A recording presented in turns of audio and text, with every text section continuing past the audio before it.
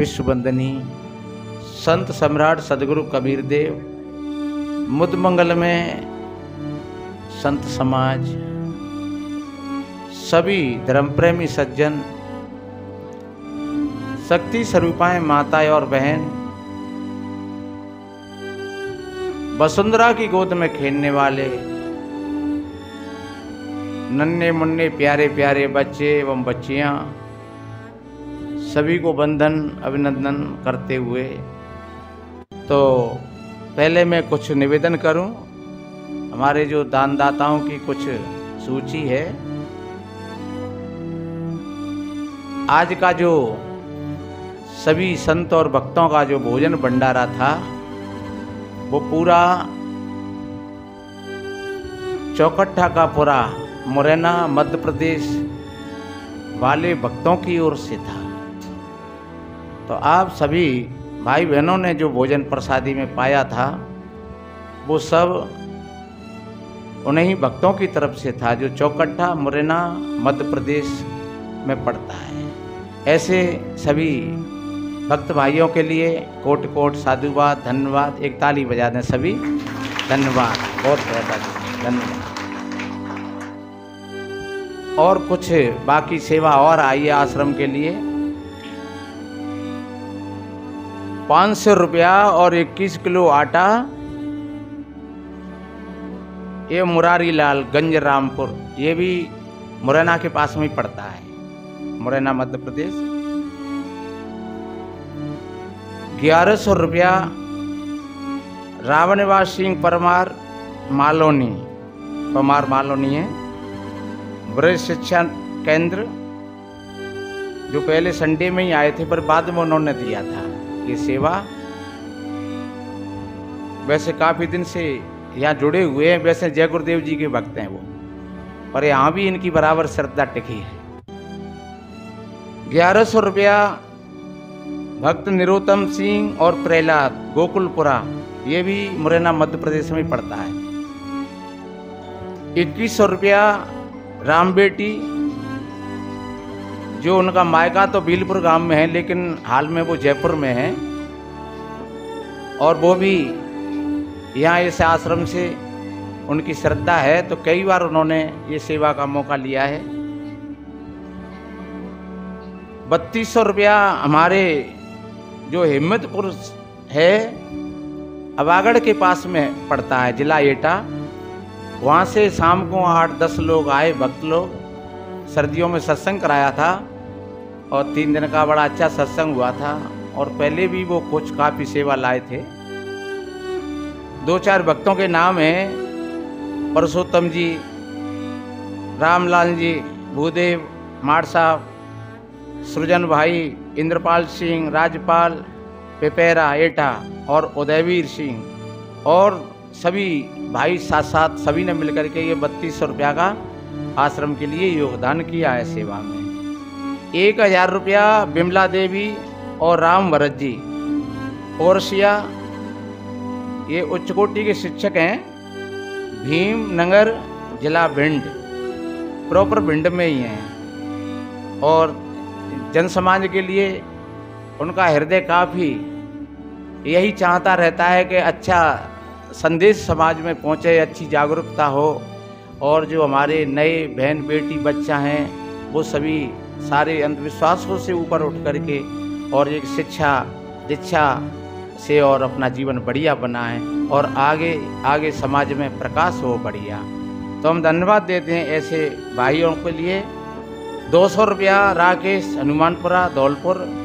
दो सौ रुपया विजय सिंह मिस्त्री, धौलपुर। जो महात्मानंद की बगीची पर रहते हैं। पाँच सौ रुपया सरोज देवी, क्री, मोहल्ला धौलपुर। सौ रुपया किरण देवी महात्मानंद की बगीची और पाँच सौ रुपया मनोज पाठक दिल्ली। ये हमारी वीडियो वीडियो सुनते रहते हैं तो कभी मन चलता है तो पहुँचा देते हैं सेवा। और पाँच सौ रुपया ये शिवराम, बाड़ी रोड, ये धौलपुर में ही है। और ग्यारह सौ रुपया हमारे कैलाश चंद, जो ग्वालियर मुरार से आते हैं। और जिस दिन से ये जुड़े हुए हैं, और उसी दिन से प्रति संडे को संतों की सेवा और आश्रम के लिए योगदान, प्रसाद बहुत बहुत धन्यवाद आप सभी भाई बहनों के लिए, सभी दानदाताओं के लिए। कोट कोट साधुवाद, धन्यवाद। खूब फलते फूलते रहें। यही संत सदगुरुओं का आशीर्वाद है। अब थोड़ा सा कुछ और आगे निवेदन करें।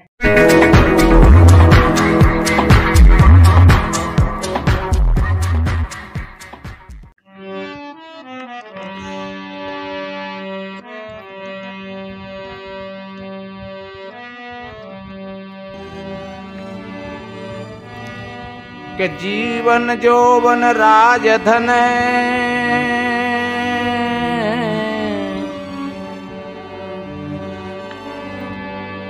अभी चल रहे न को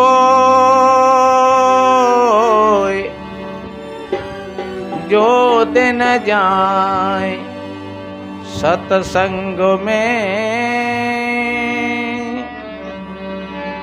जीवन का फल सो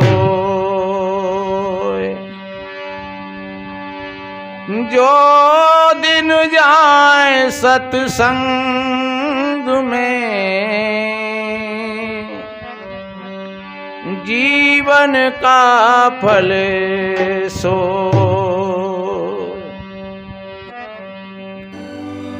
तो मेरे बहन भाई हो इस जीवन में कितना बढ़िया अच्छा कहा है।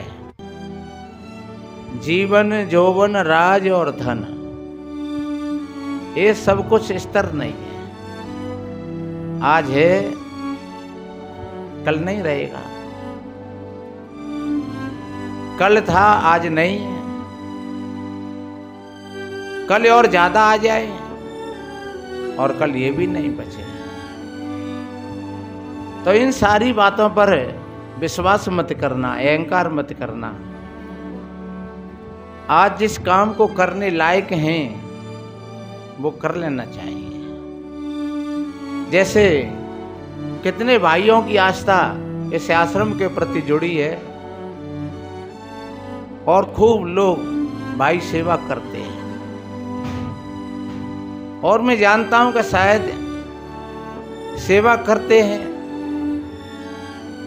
और ये भी मैंने कई बार कहा है कि सेवा ज़रूर करना चाहिए, लेकिन बेईमानी करके नहीं, ईमानदारी से। बच्ची बच्चाओं को परेशान करके नहीं, बच्ची बच्चाओं का खूब भरण पोषण करके। कर्ज लेकर के नहीं, बढ़िया मेहनत और मशक्कत की कमाई से। कर्ज लेकर के नहीं किसी दबाव में आकर के नहीं। स्वेच्छा से जब आपका मन बोले और आप स्वेच्छा से जो दान करोगे, सेवा करोगे, वो आपकी सेवा, आपका दान आपको फलित होगा। और किसी दबाव में आकर के या किसी चॉइस को लेकर के या मान बढ़ाई के लिए अगर ऐसा करते हैं तो फिर वो ठीक नहीं। तो मेरे भाई बहनों मैं इस बात को हर बार कहता हूँ, लेकिन फिर भी भाई लोग खूब देते हैं। तो शायद उनके जीवन में कुछ बदलाव आ रहा है। और कहते भी है कि महाराज, जब से हमने आपके सत्संग को सुना है, आपकी वीडियो सुनी है तो हमारे जीवन में काफ़ी बदलाव हुआ है। जीवन में कुछ आनंद मिला है। और ये ध्यान रखो, जब किसी को कुछ मिलता है, तभी कोई देने के लिए कुछ तैयार होता है। तो करना चाहिए। ये तुम्हारे मन की पवित्रता तुमको बहुत सुख देगी। किसी विद्वान ने कहा है, भलाई करे चलो जग में। तुम्हारा भी भला होगा। तुम्हारा भी भला होगा। बुराई गर करोगे तुम, तुम्हारा भी बुरा होगा। तुम्हारा भी बुरा होगा, भलाई। करे चलो जग में, तुम्हारा भी भला होगा। तुम्हारा भी भला होगा। ये सौ नहीं, एक से एक परसेंट सत्य है। आप अपने बच्चों के, बच्चियों के साथ में मेहनत करोगे। बढ़िया। उनको अच्छी शिक्षा दिलवाओगे, अच्छे संस्कार दोगे, अच्छे कपड़े पहनाओगे। आप उनके साथ में मेहनत करोगे। तो वो जब समय आ जाएगा तो वो आपकी भी सेवा करेंगे। आप लोगों ने अब ध्यान नहीं दिया। उनकी तरफ़ ज़्यादा विशेष केवल बच्चों का पेट भरना और उनको हल्की पुल्की शिक्षा दिला देना, ये ज़्यादा काम की बात नहीं है। तो वास्तविक बात यह है कि जो आप तन से, मन से, वचन से किसी के साथ में अगर अच्छा करोगे तो ये निश्चिंत बात है, तुम्हारे साथ में भी अच्छा होगा। ये नियम है प्रकृति का। अगर आप गलत करोगे और गलत हाथों से ही नहीं होता है, गलत करने का और अच्छा करने का केंद्र मन है हमारे पास। मन ही में सारे बीज होते हैं अच्छा काम करने के और गलत काम करने के। अब तुम्हारा मन बढ़िया है अच्छा है तो तुम्हारी बाणी से भी अच्छा होगा। तुम्हारी आँखें भी बढ़िया अच्छी तरीका से देखेंगी, कान भी तुम्हारे बढ़िया अच्छे शब्दों को सुनेंगे, हाथ भी तुम्हारे बढ़िया काम करेंगे, पैर भी तुम्हारे बढ़िया काम करेंगे। जब तुम्हारा, तुम भीतर से जब अच्छे हो गए तो फिर समझ लो फिर अच्छा ही अच्छा होगा। लेकिन भीतर से अच्छे नहीं हो पाते हैं।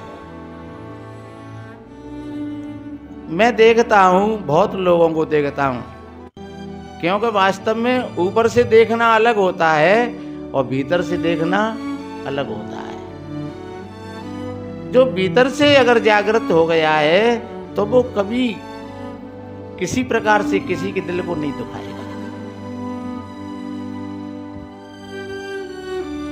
काम भी करेगा, कौन सा भी काम हो, बड़े होश के साथ और जागरूकता के साथ करेगा।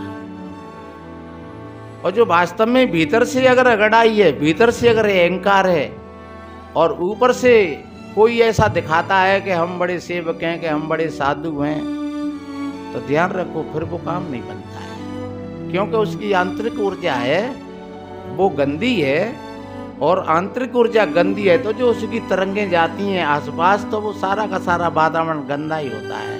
फिर वो ऊपर से चापलूसी भी करे तो वो चापलूसी ज़्यादा काम की नहीं होती।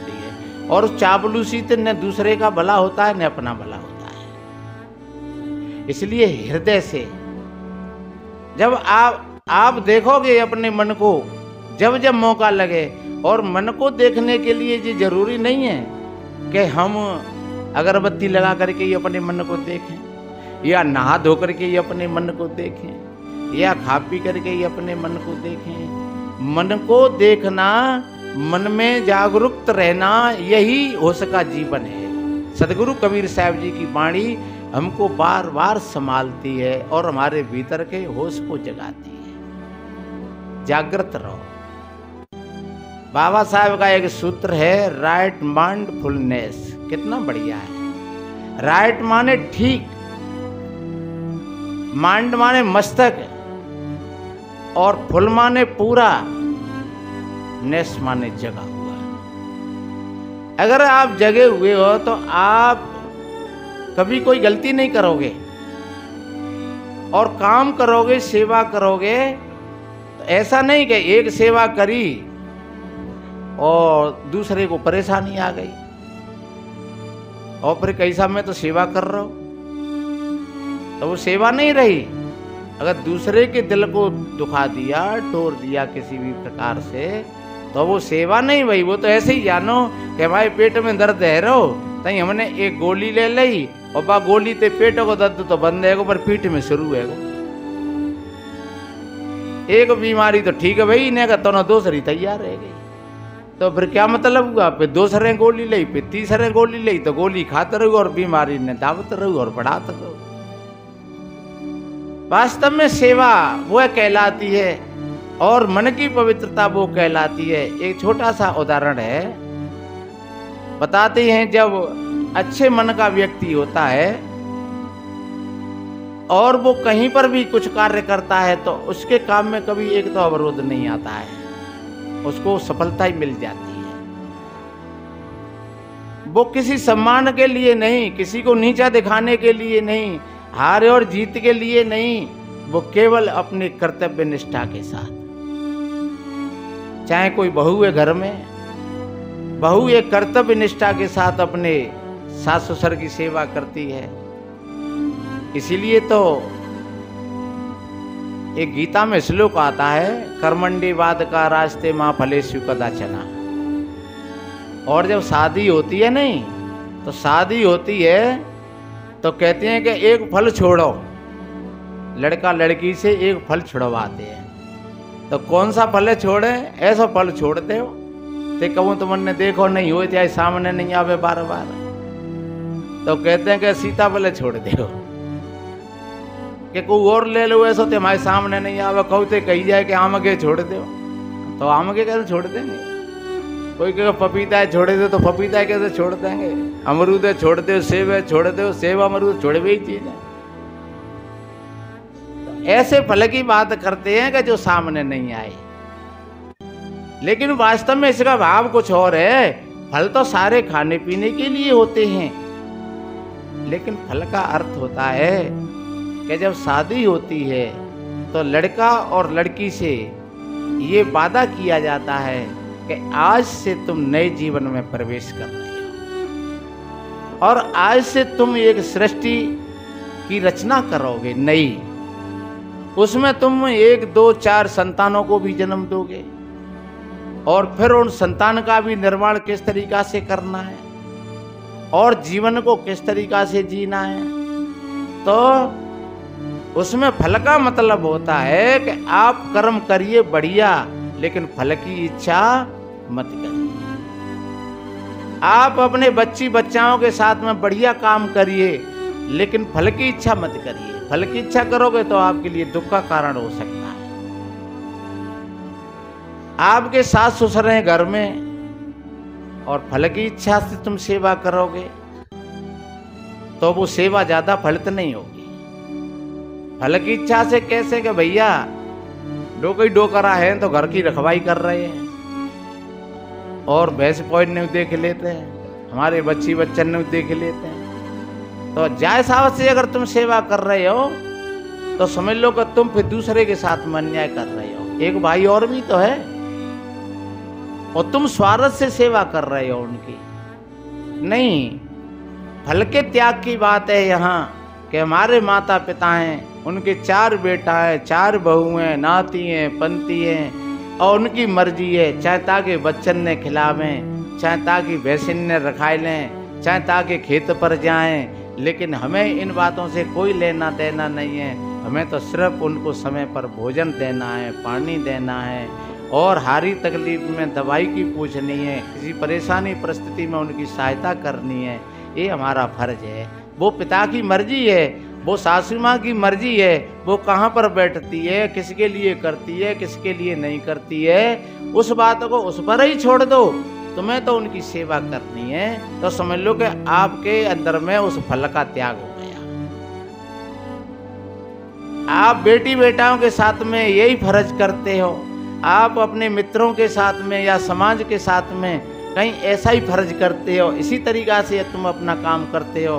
तो समझ लो, आपको आपके जीवन में सुख और शांति की धारा बही। क्योंकि आपने कभी कोई इच्छा प्रेरित करी नहीं। आपने किसी से कुछ मांगा ही नहीं, और जब मांगा ही नहीं तो आपके जीवन में कभी घाटा भी नहीं आया किसी प्रकार का। क्योंकि मांगने वाले होते हैं, वो भिखारी होते हैं, और जो देने वाले होते हैं, वो त्यागी होते हैं। तो त्यागियों के जीवन हमेशा सदैव फलते फूलते रहते हैं, और भिखारियों के जीवन हमेशा धीरे धीरे वो कंजूसता की ओर चले जाते हैं। तो हमें भिखारी नहीं बनना है हमें तो त्यागी बनना है, दानी बनना है, देने के लिए तैयार रहो, हाथ बढ़ाते रहो, चाहे तन से, मन से, धन से। एक बहुत दिना की बात है, बताते हैं कहीं पर एक सेवा समिति थी। और सेवा समिति में माताएँ बहन ज़्यादा थी। बहन बेटियों का पुंज था, हज़ारों माताएँ बहन थी उस समय तो सावन का महीना आया। तो सावन के महीना में और उन्होंने सोचा सबने मिलकर के कि बहना हो, सावन का महीना है और सभी लोग पुण्य धर्म करते हैं तो हमें भी कुछ करना चाहिए। और ध्यान रखो, पुण्य धर्म की धर्म की आड़ में अधर्म भी हो जाते हैं। हम सोचते हैं कि धर्म कर रहे हैं। जैसे आप अपना बच्चे का जन्मदिन मना रहे हैं तो तुम सोचते हो कि बड़ी खुशी है डीजे बज रहे और शराब पे भी रही है बीड़ी सिगरेट पे भी रही है बड़े बड़े रईस लोग आ रहे हैं जा रहे हैं और वो केक कट रहे है। तो समझ लो ये अंधविश्वास है। आज निवेदन करो। पहले कोई नहीं ऐसा कुछ करता था। और मैंने बोला मनाना ही है बच्चे का जन्म कि माँ तो पिता मिल जाएँगे। बढ़िया अच्छी तरीका से। माँ तो पिता मिल जाएँगे। दस बीस लग चौरासी माँ शादी दो। और ऐसे लोगों को बुलाओ, कुछ दो चार छः लोग ऐसे भी उसमें भोजन पाए जाएँ, जो बेचारे गरीब हों, उनको बढ़िया अच्छा भोजन रोज नहीं मिलता हो तो ऐसे लोगों को आपने बढ़िया भोजन कराया और बढ़िया थोड़ा घंटे, दो घंटे का सत्संग हुआ। आपके बच्चों ने भी सुना, आपने भी सुना, सभी परिवार के लोग संगठित एक पास बैठ करके और बड़े आनंद और शांति के साथ उस दिन को पूरा किया। कितना अच्छा बर्थडे का दिन रहा। डीजे बज रहे हैं, धाए धाए धाए धाए बोल रही है, कोई शराब पी के नच रहे और फिर कहतना कि केक काटो। और एक बात बताएँ, उस केक में भी बताते हैं, कुछ अंडा वंडा होता है, एक दिन मेरे से किसी ने कही, लो परसा ले लो। पहले तो कही के केक काट दे मैं, भैया जी काटा पीटी संतन के बस की बात ना है। ये काटा पीटी है, वो हमारे बस हम नहीं करते हैं काटा पीटी। क्या मतलब है इसका? ये हमारी भारत की संस्कृति में तो था नहीं, लेकिन अब आ गई है विदेश से कोई क्रिया। तो फिर काटा पीटी का नाम क्यों लेते हो? हमने कि तुम करो। तो भाई हमारे पास लाए तो वो एन गुलगुलो गुलगुलो और कचू मलाई सी कचूबा में और मुँह तबा में तो घिनसी आई गई। मैं, भैया हूँ ना खायर हो जाए। है कि महाराज, ने का तो लेना पड़ेगा। मैंने कि बिल्कुल नहीं नहीं लेगा मैं। हाँ जाओ मैं राज़ी ना नहीं तुम्हारे घर पर भोजन पाया है, बढ़िया। और बढ़िया खूब सत्संग सुनाएँगे। पर जा ये नहीं लेंगे, हमारी आत्मा नहीं बोल रही है। बताते हैं, उसमें कुछ अंडा बंडा भी मिला देते हैं। ऐसा भी मैंने सुना है, मैंने देखा तो नहीं है, लेकिन सुना है मैंने ऐसा। कि उस जो केक काटते हैं, उसमें कुछ अंडा बंडा भी ऐसा कुछ कर देते हैं। हाँ। तो मेरे बहन भाइयों, बढ़िया, ऐसे ऐसा काम करिए बढ़िया। जो कोई भी काम करना है, खुशी का, उसमें ज़्यादा नहीं। एक दो महात्मा बुलाए लो। महात्मा भी कोई नहीं है तो अपन चार छः दस बहन बेटी और भैया बड़े अच्छे बुज़ुर्ग, चार छः दस बीस मिल करके और बढ़िया अच्छी चर्चा कर लो ज्ञान की। अच्छी चर्चा करोगे और अच्छा भोजन पाओगे, अच्छे विचार रहेंगे तो समझ लो कितना बढ़िया रहा अच्छा रहा। तो इस तरीका से जो समझ के साथ में कोई भी काम करते हैं इस पर हम आगे और चर्चा करेंगे कुछ विचार विमर्श करके। तो मैंने निवेदन किया कि सावन का महीना था, जो समझदार लोग होते हैं वो क्या करते हैं? जो ना समझ लोग होते हैं वो वो ज़्यादा हु अल्लाह करते हैं। और जो समझदार लोग होते हैं, वो हमेशा शांति का वातावरण बना करके रखते हैं। तो बताते हैं, उन बहनों ने कहा कि भैया, आज कल का रक्षाबंधन है तो फिर ऐसा कर लो कि सब चंदा कर लो और हम सब जेल में चलेंगे मिल करके तो जेल में जो कैदी भाई है, उनका कोई नहीं है दुनिया में आज। तो सबकी बहनें आएँगी अपने भाइयों के राखी बांधने के लिए और सभी भाई लोग भी जाएँगे अपनी बहनों के यहाँ तो वो राखी बांधेंगी। और वो कुछ दान दक्षिणा भी देंगे, कपड़ा भी देंगे, धोती साड़ी, ब्लाउज और पैसा भी देंगे, मेवा मिष्ठान भी देंगे। तो हम वहाँ नहीं चले जेल में। तो उन्होंने सबने, किसी ने पाँच, पचास, सौ, दो से सभी ने अपने अपने हिसाब से और खूब पैसा इकट्ठा किया। और जा कर के और बाज़ार से वे बहुत राखी खरीद करके लाए, मिठाई खरीद करके लाए और जेलर से जाकर के अनुमति ली भैया, हमें इन जेली भाइयों से मिलना है। क्यों, जेलियों से मिलकर के क्या करोगी तुम? कि आज इस जेल में उनका कोई नहीं है और हम उनके राखी बांधेंगे। अरे, बोले, राखी बंधवाने लायक वो होते तो फिर जेल में ही क्यों होते? हाँ वो सभी कोई बदमाश है, गुंडे हैं, डकैत हैं, चोर हैं। लेकिन उन बहनों ने कहा कि नहीं, आदमी हर वक्त बदमाश नहीं रहता है, गुंडा नहीं रहता है। कभी कभी भले आदमी के चित्त में भी गलत चिंतन आ जाते हैं और कभी कभी बदमाशों के अंदर में भी अच्छा चिंतन जागृत हो जाता है। ये व्यक्ति इतना बुरा नहीं है और इतना बढ़िया नहीं है। हाँ सत्संग में बैठ जाए, अच्छे सज्जनों में बैठ जाए तो फिर पूरा बढ़िया ही बढ़िया है। और अगर सत्संग में नहीं बैठे और गलत संगति में चला जाए तो फिर वो वो गलत भी हो जाता है। पर ध्यान रखो, फिर भी पूरा गलत नहीं होता है। फिर भी उसमें अच्छाइयाँ होती हैं। बहुत ऐसे डकैतों से की कहानी सुनी है कि जिन बहनों के यहाँ कोई बतैया नहीं थे तो उन्होंने जाकर के भात दिए उनके घर। बहुत ऐसे डकैतों के किस्सा कहानी सुनी है। और वो घर पर पहुँचाने के लिए गए, गरीब लोगों की सहायता करते थे, बहुत ऐसे डकैत और किसी मजबूरी में और परिस्थिति में डकैत तो हो गए, लेकिन उन्होंने अपना जीवन, आदर्श में जीवन बनाया, ऐसी जगह पर भी जाकर। तो उन बहनों ने कहा, जेलर साहब, आदमी हर वक्त बुरा नहीं होता है, और पता नहीं है आदमी का जीवन कब बदल जाए और कैसे बदल जाए। तो उन बहनों का संगठन मज़बूत था तो उनको मंजूरी देनी पड़ी। और जब जाकर के वहाँ पहुँची तो सभी कैदियों को एक लाइन में खड़ा कर दिया। जब कैदियों को खड़ा कर लिया और वो बहन सभी पहुँची वहाँ तो वो कैदी लोग भी सोच रहे कि भैया पता नहीं जी क्या करेंगे जिन्होंने क्यों बुलाया है हमें? तो उन कैदी भाइयों को लेन में खड़ा करके और उन बहनों ने सबके हाथ में राखी बांधी और सबको अपने हाथ से मिठाई खिलाई। देखो, लोग मंदिरों में जाकर के और पत्थर की देवी देवताओं पर तो कोई भी चढ़ा देते हैं और खिलाते हैं। कभी सर्दियों में उनको रजाई उड़ा देते हैं देवी देवताओं को। कभी गर्मियों में कूलर लगा देते हैं, उनके कमराओं में एसी लगवा देते हैं। लेकिन वास्तव में अपने हाथ से अगर कोई अपने बड़े बूढ़े माता खिलाए दे एक बार दिन में, या एक बार नहीं तो एक महीना में दो एक आध ही खिलाए दे, या एक महीना में नहीं तो साल में दो चार दिन, दो एक आध दिन ही खिलाए दे, होली दीपावली पर खिलाए दे, अपने हाथ से। ए बढ़िया नए कपड़ा पहना करके खाट नीला धुला करके, नए कपड़ा पहना करके, खाट पर बैठाल करके, और फिर फूलन की माला डाल करके हद की सरैया ले करके और पूज करके, और फिर कह लो माता जी एक बर्फ़ी खाए लो, ले पिताजी, एक पेड़ा खाए ले। तो कितने आशीर्वाद मिलेगा तो इतना सीमत आशीर्वाद मिलेगा कि आप उस आशीर्वाद को इतना मिलेगा कि आप फलते फूलते चले जाओगे जीवन में कमी नहीं रही। आप करके देखना। हृदय से करना, जे नहीं कि ऊपर से। जे तो मैंने पहले भी कहा था कि ऊपर ऊपर से नहीं, हृदय से।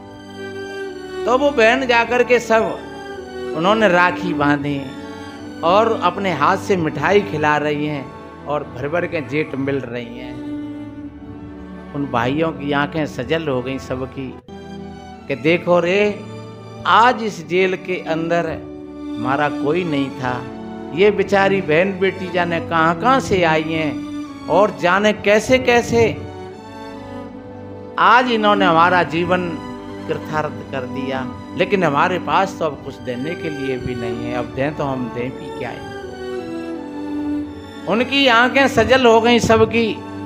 कहने लगे, बहना हो, आज अगर तुम घर पर आती तो हम तुमको बहुत कुछ देते, कपड़ा देते, पैसा देते, भोजन कराते लेकिन अब हमारे पास तो कुछ नहीं है। तुम ऐसी समय पर, ऐसी जगह पर आई हो हमारे पास में तो कुछ देने के लिए नहीं है।